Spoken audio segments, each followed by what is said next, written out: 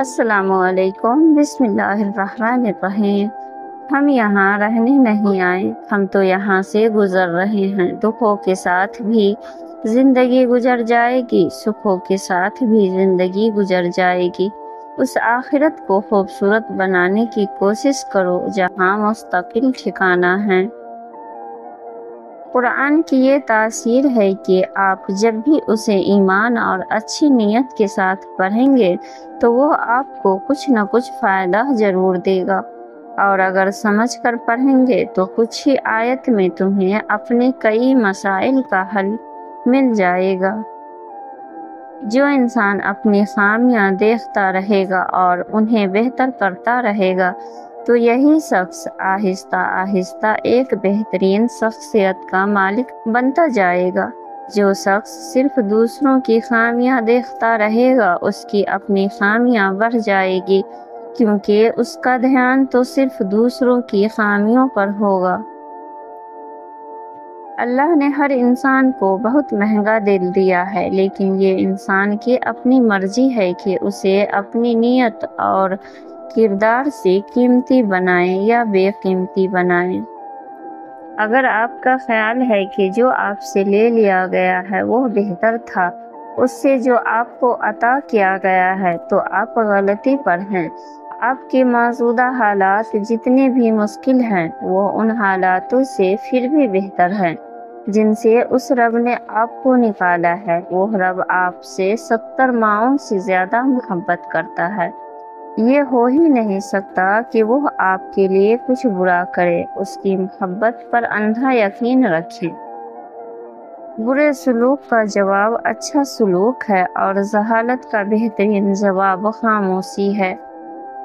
وہ خاموشیاں بھی سن لیتا ہے، لیکن اسے اظہار پسند ہے۔ بندے کا جب بندہ کہتا ہے، اے میرے رب! تو وہ متوجہ ہو جاتا ہے۔ جب بندہ کہتا ہے، تو بڑا رحیم ہے تو اس کی رحمت جوش میں آ جاتی ہے۔ جب بندہ کہتا ہے، اللہ مجھے معاف کر دے، تو وہ معاف کر دیتا ہے۔ اور جب بندہ گر گرا کر کچھ مانگتا ہے، تو وہ قبول کر لیتا ہے۔ حالانکہ اس نے جزائے اور سزائے پہلے سے مقرر کر رکھی ہے، پھر بھی تمہیں اپنی جانب کھینچنے کے سبب بناتا رہتا ہے۔ روزانہ پانچ دفعہ تمہیں ملاقات کا دعوت نامہ دیتا ہے۔ اور پھر انتظار کرتا ہے کہ کبھی نہ کبھی تو اس کی جانب واپس لوٹ آؤ گے جو دروازے اللہ ہمارے لیے کھول دیتا ہے، انہیں چاہ کر بھی کوئی ہم پر بند نہیں کر سکتا۔ کون ہے اتنی طاقت والا جو اللہ کی رحمتوں، برکتوں، عنایتوں اور محبتوں کو ہم تک آنے سے روک سکے؟ کوئی نہیں۔ کہ عطا فقط اللہ کرتا ہے، ہمیشہ کرے گا۔ اسی کا ہے سب کچھ جو زمین و آسمان کے درمیان ہے۔ بس وہ تم پہ اور مجھ پہ اپنے کرم کے دروازے ہمیشہ کھولے رکھے۔ آمین۔ سما آمین۔ لوگوں کا ظرف اتنا بڑا نہیں ہوتا کہ وہ کسی کی خامی کو اپنے اندر چھپا سکے۔ ہم دنیا کے اس دور سے تعلق رکھتے ہیں جہاں لوگوں کو ہماری تکلیف سے بس اتنی سی دیر کی وابستہ ہوتی ہے جب تک انہیں وقت گزارنے کا دوسرا کوئی سامان نہیں ملتی۔ اور آخر میں ہم ہوتے ہیں ہماری تکلیف اور اللہ۔ کچھ لوگ اللہ کے ڈر کے لیے ہی پیدا ہوتے ہیں۔ اللہ انہیں چن لیتا ہے۔ کبھی رلا کر، کبھی آزما کر، کبھی تکلیف دے کر، وہ اپنے خاص بندوں کو الگ کر لیتا ہے۔ کچھ اس مقام تک خود آتے ہیں اور کچھ کو کھینچ کر لایا جاتا ہے۔ قرآن مزید میں جتنی بھی قوموں کی تباہی کا ذکر ہے، ان میں سے ایک بھی قوم کی تباہی کی وجہ روزہ حج زکوٰۃ چھوڑنا نہ تھی، بلکہ کم تولنا رشوت ستانی انصاف نہ کرنا، کسی کا حق کھانا، ملاوٹ کرنا، کسی کو ناحق قتل کرنا تھا۔ اگر سادہ الفاظ میں کہوں تو معاملہ حقوق العباد کا تھا۔ توبہ ایسا دروازہ ہے جو موت کی ہچکی تک کھلا رہتا ہے۔ دعا ایسا عمل ہے جو تقدیر کو مات دے سکتی ہے اور ضمیر ایسا ساتھی ہے جو ہمیشہ حق کی راہ دکھاتا ہے۔ اللہ سے رجوع کرنے میں کیسی جھجک اس کے پاس گزرے ہوئے کل کی معافی بھی ہے اور آنے والے کل کا انعام بھی۔ وہ تو بڑا غفور الرحیم ہے زندگی میں ہر پریشانی کا ایک ہی حل ہے۔ صرف اللہ سے بات کریں، اللہ سے مانگیں، اللہ پر چھوڑ دیں، اللہ پر بھروسہ کریں، اللہ سے کہیں اور کہتے رہیں۔ اللہ کی بات پر راضی رہیں۔ اس کا چناؤ بہترین چناؤ ہے۔ جب وہ کسی کو اپنے لیے چنتا ہے تو وہ بے مثال مثالیں قائم کر دیتا ہے۔ سمندر بہت بڑا ہے، لیکن ہم اتنا ہی پانی لے سکتے ہیں جتنا ہمارے ہاتھ میں آتا ہے۔ اسی طرح اللہ کی رحمتیں بہت لامحدود ہے، لیکن ہم انہیں اتنا ہی پاتے ہیں جتنا ہمارا ایمان ہوتا ہے۔ جب انسان کسی رنز اور مصیبت میں اللہ سے سکوا کرتا ہے، تو اللہ فرماتا ہے کہ اس مصیبت کا سکوا بے زا ہے۔ یہ مصیبت تو تجھے میری طرف متوجہ کر رہی ہے۔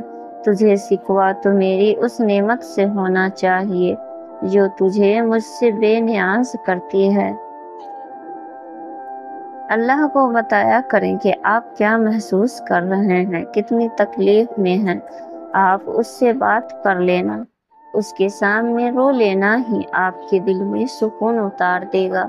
بے شک وہ دلوں کا ہمراز ہے۔ یا اللہ میں جانتی ہوں یہ میری آزمائش ہے، لیکن ہمت جواب دینے لگی ہے۔ یا تو مجھے صبر سے نواز دے یا اس مشکل کو آسان کر دے۔ جو بے شک تو کر دیتا ہے آسان، اور ہر چیز بدلنے پر قادر ہے۔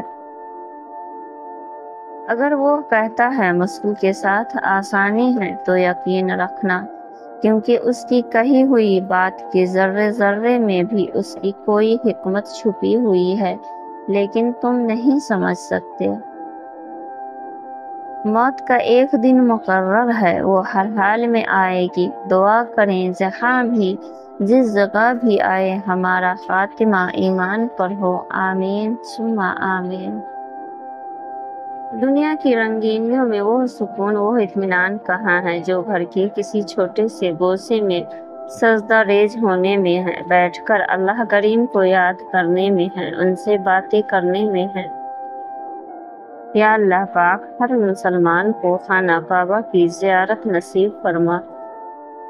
بڑھتی نہیں، عزت خود بڑھانے سے یہ عطا ہے خدا کی، جسے چاہے نواز دے۔